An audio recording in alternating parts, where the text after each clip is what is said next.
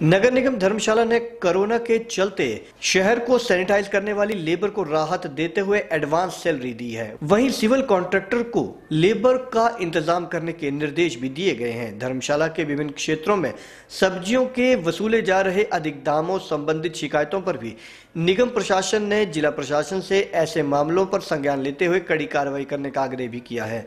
नगर निगम धर्मशाला के मेयर देवेंद्र जग्गी ने बताया कि सैनिटाइजिंग का काम करने वाली लेबर को अग्रिम वेतन भुगतान किया गया है। लेबर के राशन के इंतज़ाम के लिए ठेकेदारों को बोला गया है। निगम द्वारा लेबर को भी एक माह का राशन दिया जा रहा है। सिविल कॉन्ट्रैक्टर्स को लेबर का इंतज़ाम खुद करने की बात भी कही।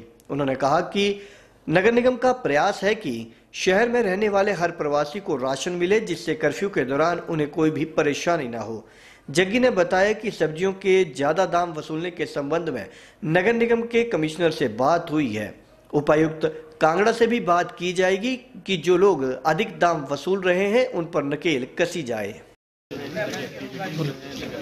और हमारे जो सैनिटेशन की जो लेबर है, जो सफ़ाई कर रही है, उनको हमने एडवांस में पे दी है और उनके राशन का इंतज़ाम जो उनके, हमने उनके जो कॉन्ट्रैक्टर हैं, उनको बोल दिया है।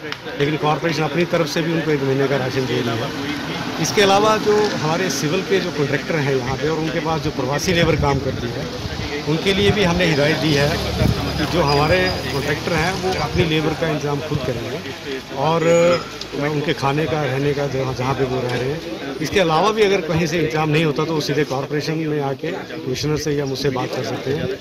हमारी कोशिश है कि हर आदमी को राशन मिले जो कॉरपोरेशन मिले, चाहे वो प्रवासी हो, चाहे वो यहाँ। का